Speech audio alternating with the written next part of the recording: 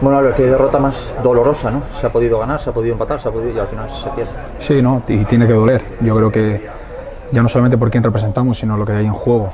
Creo que hoy es un partido en el que eh, no diría yo perder una oportunidad porque es una jornada, una competición de 42 jornadas, pero creo que el equipo tiene que irse de aquí eh, sabiendo que está haciendo un arranque bueno, pero estas derrotas nos tienen que doler en el, en el alma y en el orgullo a, a, cada uno de nosotros. Seguramente cuando veáis el resumen del partido, igual uno se va a quedar todavía más perplejo de cómo no se ha ganado este partido. ¿no? Totalmente, no, y no hace falta, yo creo que no hace falta ni ver el, el, el resumen, creo que la gente es, con, es consciente de que hay que darle más importancia a todos a los detalles, yo creo que los futbolistas tenemos que dar ese, esa importancia a esos pequeños detalles y, y este partido, pues bueno, consideramos que hemos hecho mucho más para para llevarnos más, por eso yo creo que tiene que, que dolernos. ¿no? Decía justo Michel los detalles han sido los que han marcado la clave del partido. Bueno, pues es que es, creo que es eso el tema. Yo creo que al fin y al cabo en esta competición se deciden las cosas por, por pequeños detalles y esos pequeños detalles no los podemos dejar pasar y más en una competición en la que hay tanta igualdad y considero que tenemos jugadores pues, para que esos detalles caigan de nuestro lado. ¿no?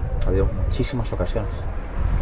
Y es difícil generarlas en un campo como este, con, con el equipo que había delante. Yo creo que hemos hecho todo y por eso tiene que doler aún, aún más esos detalles y, re, y reincidos, y encima lo ha dicho el, el mister en ese sentido, esos detalles pues eh, tenemos que cambiar eh, a lo mejor algo para exigirnos más y, y, para que, vuelvo a repetir, ¿no? reitero, eh, no podemos dejar que los detalles no caigan de nuestro lado con, con todo lo que hay en juego. ¿no? Hacer autocrítica en los momentos... Totalmente, totalmente. Yo creo que la autocrítica y la humildad y, y tanto que hablamos de la institución, yo creo que tenemos que que tener humildad y centrarnos realmente en el, en el trabajo, trabajar y ir día a día que, y más que pensar en partido a partido, ir día a día, que ese es el primer, el primer paso. ¿no? ¿Qué le decimos a toda esa gente que ha venido hoy, que ha animado sin parar? Bueno, duele, duele mucho el, no solamente que vengan, sino cómo vienen. Yo creo que ya es la actitud con la que vienen y con la que afrontan el desplazamiento, aplauden, animan. Eh, cuando te pones por debajo es cuando más los notas, eh, darle las gracias y,